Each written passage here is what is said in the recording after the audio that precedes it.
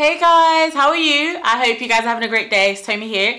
Um, so, as you can see by the title, today's topic is a bit of a different one. Um, it was just basically something that um, that God just kind of placed on my heart at the same time he showed me as well he just taught me something and i just wanted to encourage someone today who's probably going through what i was going through at that point in time so i'm just to say like a quick story time rewind i almost say fast forward rewind a couple weeks back i was in a bit of a spiritual funk i was going through the motions guys i was i was praying and reading my bible don't get me wrong but i wasn't i wasn't there like my reading my Bible was me reading verse of the day on the Bible app.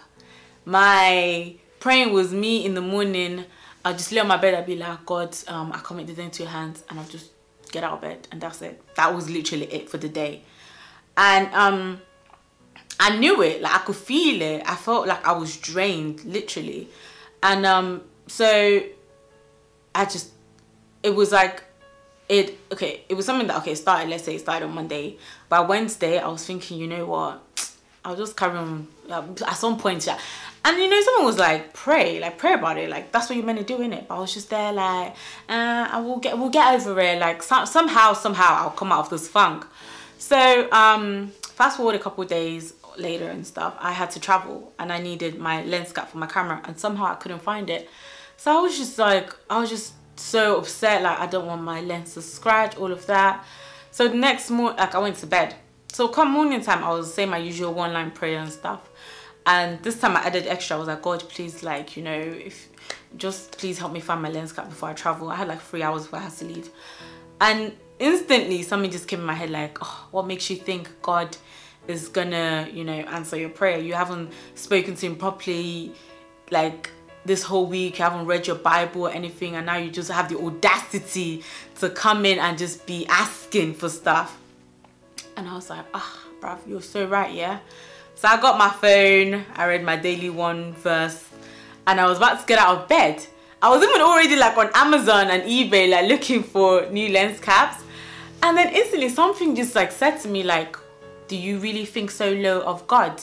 Like, do you really think because of that you can't come into his presence and ask him for something like do you think god is human and instantly this i don't know if you guys know it i don't i actually don't know where exactly it is but it's in numbers where it says his ways are not like ours like he he doesn't work like man god isn't petty he isn't he, basically he's not human he's perfect so he doesn't do the things that we would take p and take personal he doesn't and i was just like oh my gosh yeah like this is just completely ridiculous. Like, I like I was just torn. Like, how can I come and be asking God for something when I haven't like been faithful to Him? And I just remembered like someone told me one time like God is always faithful even when we aren't. And I was remembering all these Bible verses about, you know, in Jeremiah where he says, I know the, the thoughts that I have for you, thoughts of good and not of evil. And um, where he also says um, in Romans about us being co-heirs with Christ. Like we are his children. We like we are not his servants. We are not the cleaners. We're not drivers or anything. We are children equal with his perfect son. And like ah, gosh, I don't even know how to put this. But anyways, long story short, I found my lens cap in the weirdest of places in the weirdest of ways. I was literally about to leave the house. I was like, let me go get a glass of water. Went into the kitchen and something just said, like lift the microwave up. I don't know what my lens cap was finding was it was doing in the kitchen, but it was under the microwave. So I got it and I was just there like when I was walking to the bus station, I was just smiling like, wow, God, like you really like just taught me. And like the Holy Spirit was just telling me like it's in the times when you feel so down, when you feel like I can't come to him, that's when you should, that's when you need to.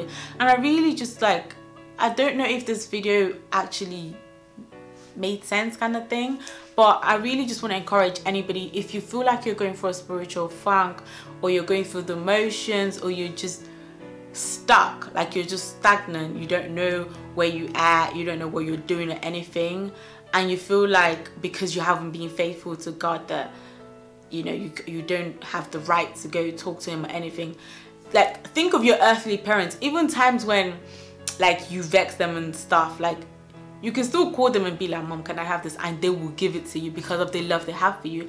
And now think of your ultimate, ultimate father who's perfect.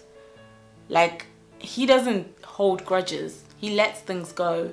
So, if you're feeling like you're in a spiritual funk or some something, whatever you're feeling, and you feel like you can't seek God or you can't pray or that He's not going to answer you, I promise you, that's a lie of the devil. He will answer you. He wants you to call Him. In your weaknesses, His strength is magnified. Press into Him. I really, really do hope this video made sense, and I really do hope I've managed to encourage someone out there today. Like, guys, God is not petty.